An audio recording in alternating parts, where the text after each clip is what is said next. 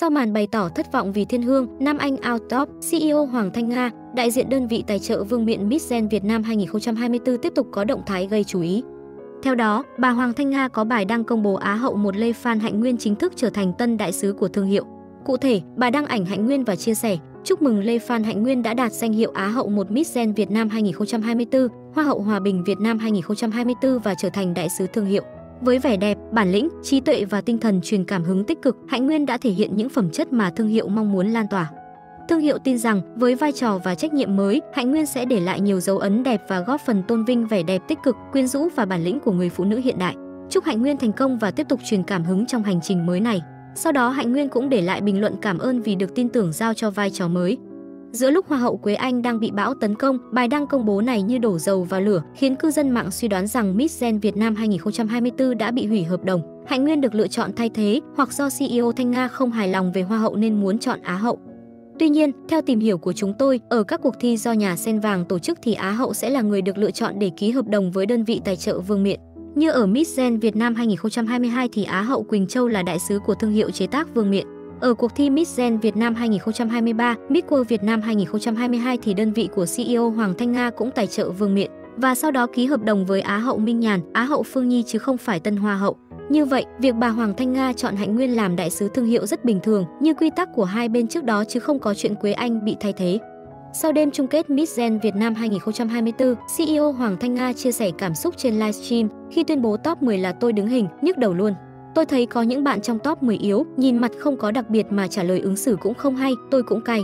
Tôi mới thắc mắc và nhắn tin dì Dung hỏi liền tại sao Thiên Hương và Nam Anh out top 10, tại vì mình tức. Sau đó dì Dung có dắt tôi ra ngoài và giải thích nhưng cũng không nói gì nhiều, tôi ấm ức lắm nên cũng không quan tâm top 5, Hoa hậu, Á hậu là ai luôn. Nếu đúng như top 5 mà tôi dự đoán là ngon rồi. Tôi không biết năm sau có tài trợ nữa hay không, tôi đâu có hứa, chỉ nói là tài trợ được lúc nào hay lúc đó vì mệt quá. Năm nay tôi buồn vì niềm vui vương miện chưa được bao lâu thì lại quá nhức đầu về nó.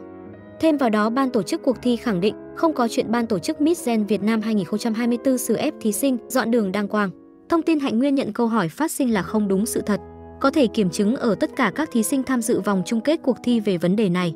Bối cảnh gia đình của Quế Anh không phải yếu tố chính quyết định vương miện.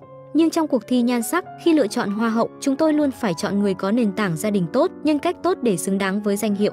Chúng tôi không thể nào lựa chọn một người có xuất thân, nhân phẩm không tốt để làm hoa hậu được. Về phía dì Nga, bà được biết đến là doanh nhân Hoàng Thanh Nga được công chúng nhắc đến với danh xưng bà trùm vương miện khi đứng sau hàng loạt tuyệt phẩm vương miện cho nhiều cuộc thi nhan sắc tại Việt Nam. Với kinh nghiệm hoạt động 14 năm trong lĩnh vực trang sức, doanh nhân Hoàng Thanh Nga, thương hiệu Kim Cương Nga, Ngọc Châu Âu tự hào là nhà tài trợ vương miện cuộc thi nhan sắc nổi tiếng tại Việt Nam. Hoa hậu doanh nhân Việt Nam 2021, duyên dáng ngoại thương, Hoa hậu quý bà Việt Nam 2022, đặc biệt là Miss World Việt Nam 2022. Ngoài ra, chị Nga từng là giám đốc của công ty trách nhiệm hữu hạn Chamie Việt Nam, với ngành nghề chính là mua bán vàng bạc trang sức mỹ nghệ, bán lẻ đá quý, đá bán quý, kính mắt, đồng hồ và đồ trang sức. Tuy nhiên, đến tháng 4 năm nay, Chamie Việt Nam đã đổi tên thành công ty trách nhiệm hữu hạn Sâm Yến Pona. Giám đốc và đại diện pháp luật chuyển từ chị Nga sang ông Lữ Hoàng Phong, chồng chị Nga.